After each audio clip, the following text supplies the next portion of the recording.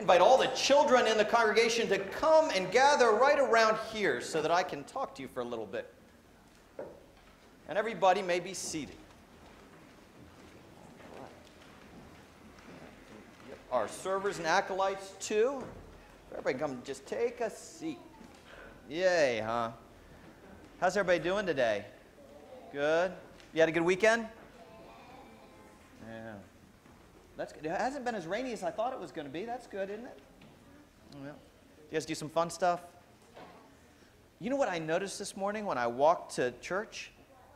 Everything is in bloom. It's a little bit late, but everything looks so beautiful outside, doesn't it? Yeah. yeah.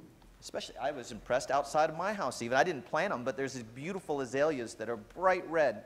Uh, but that kind of puts a smile on my face. Well, I wanted to talk to you a little bit about the gospel we heard today. Uh, we heard Jesus talking. And one of the things Jesus says is that I came here to teach you every single thing I know about God. Do you know how he taught people? Does anybody have any ideas how he taught us? Through things that weren't real, but, it, but they taught you about uh, something that is real. Absolutely. Does anybody know the name? You're, uh, man, I didn't expect us to get this far this quickly. All right. Wow. So, does anybody know the name of those stories that aren't real but teach us about something that absolutely, what a, what a great description of them, but teach us about something that's real? Parables. Jesus taught us about who God was through parables. What else did he use? Did he show us? Yeah. By the way, he took care of one of, of, of people. So he showed us he taught us through parables, and sometimes he just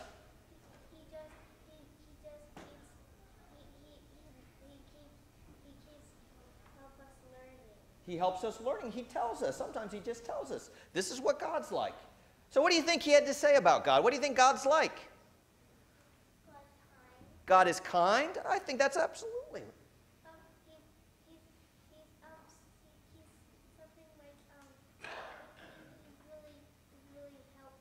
He's very helpful. Absolutely, absolutely. Kind and generous. Kind and generous.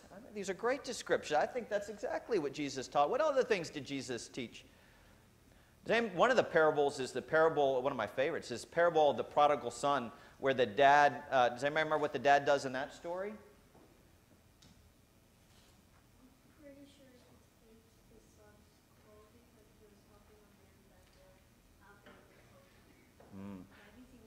You might be thinking of a different one, but he does put a, he does give him a clean robe because he smelled like pigs because he'd been working with the pigs. But he for he forgave him. So is, is God forgiving?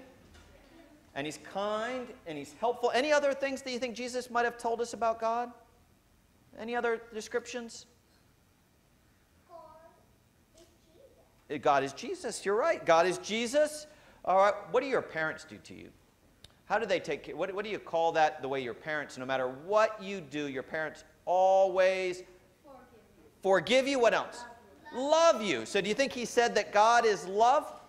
Yeah. Think he taught him that? Yeah, I think. Mm-hmm.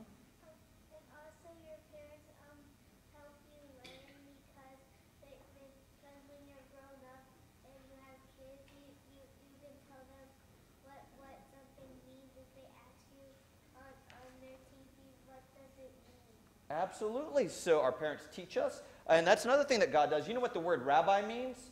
No. Teacher. And they call Jesus a rabbi, good, a good rabbi. He's a teacher, right? So he teaches us. Okay. So we've got that Jesus came and he showed us about God and he taught us about God and he taught us through parables, through stories about God. And we know that God is kind and helpful and a teacher and forgiving and that God is love. So if I said God is love, and the most important thing He wants us to know is to love, what does love mean? It means that um, when, when you like something you, you, you got. Mm, when you like something you, you have? Absolutely. Anybody else? It means they care about you. It means they care about you no matter what, right? No matter what.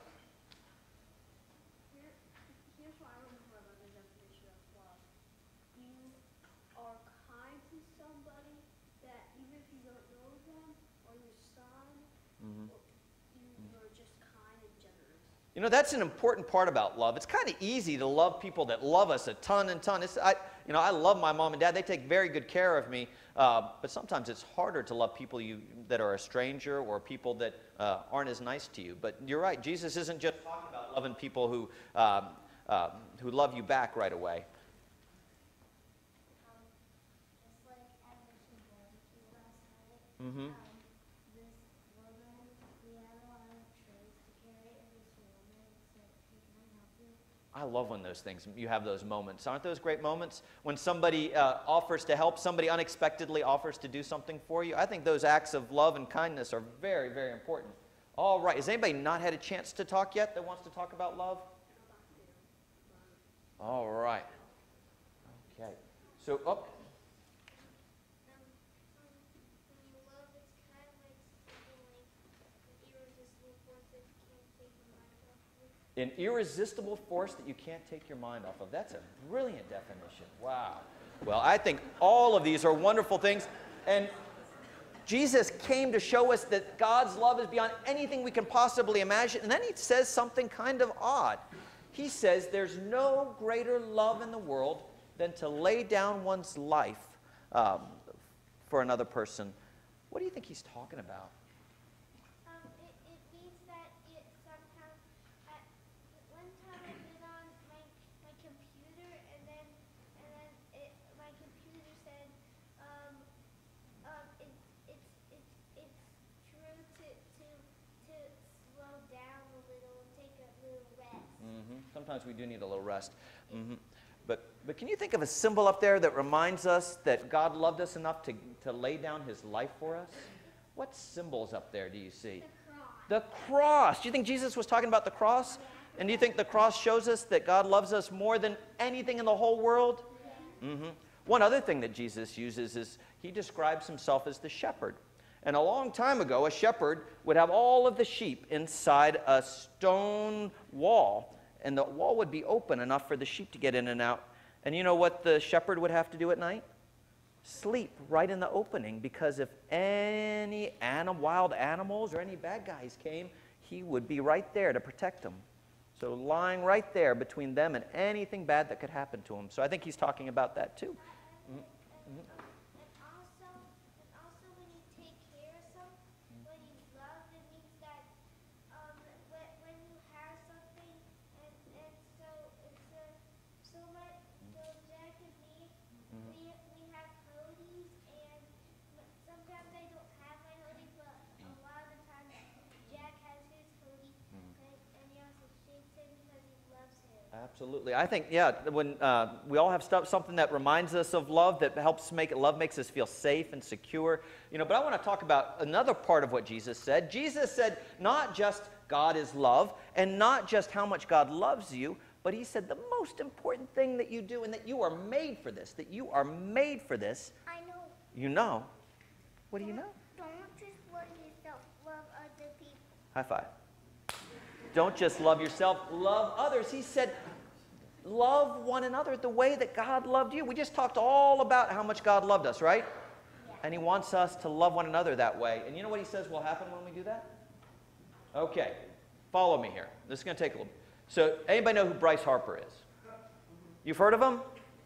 All right, what do you think it feels like to Bryce Harper when he hits a baseball 450 feet into the bleachers? How do you think it makes him feel? Proud? And what else? Happy. Happy? I think so, absolutely. Uh, he was made to hit a baseball really, really far, right? How do you think Mr. Jesse feels when he plays the perfect favorite hymn on the organ? How do you think that makes him feel? Good and special, like God made him to play that organ that way? And when the choir sings a perfect song? Or does anybody know who Picasso is? Who's Picasso? An artist? You know, when he painted that perfect picture and he looks at it, do you think he, do you think he was filled with joy? Or a writer when they finish that, that book?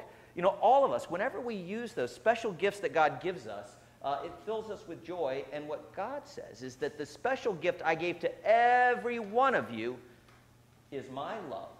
And whenever you share that special gift with the world, it's just like Bryce Harper hitting a home run. It should make you feel filled with joy. And that's really what God wants for us, is for our hearts to be filled with joy. And so you all, just like Bryce Harper's a professional baseball player, you guys are professional lovers. And your job is to love one another the way that who loved you?